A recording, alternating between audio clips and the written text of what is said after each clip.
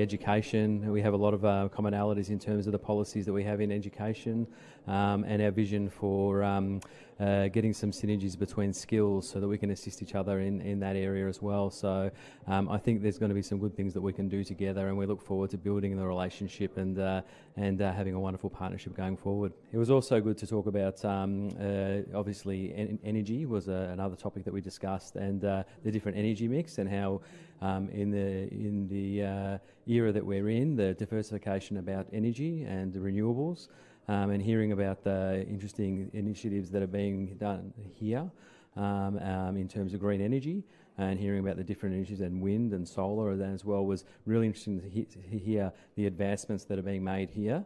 Um, and uh, hearing about those sorts of things and seeing what application they might be able to have in in, in uh, Victoria as well. So that was a really interesting discussion too. I, I think just to add on from Lee, I think the um, the synergies between our two states uh, were evident, and uh, the Chief Minister was uh, very generous with his time.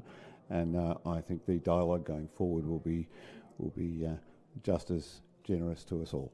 I think there are some similarities between that and uh, um, some of the changes that, that the policies that we're bringing and the government is bringing in regards to primary changes and things like school programs and those things. And I, I think discussions along the lines of looking after the next generation of our people, whether they be here or whether they be Victoria, I think we all share those goals. Uh, it was fantastic to meet the Chief Minister, and it was very gracious of him um, to give us his time. We understand that he's a very busy person, and, and just to echo um, what my uh, what my colleagues have said, um, there is a lot of synergy between our two states.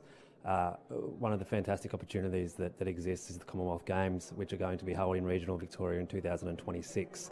Um, I think that there are a whole host of opportunities uh, for our states to work together um, in, in the educational sector, in training, um, but also in the construction of facilities as well. So it was great to sit down with the Chief Minister and speak about uh, those topics, uh, and I'm sure that uh, this will be a fruitful relationship going forward. Uh, well, uh, today is uh, another uh, step going forward in terms of uh, relationship between uh, our two states, and I'd like to thank the Chief Minister for his time. We've been a very fruitful discussion, exchange of idea, and Chief Minister point out a few sort of very good points that we're going to take back to Melbourne to Victoria.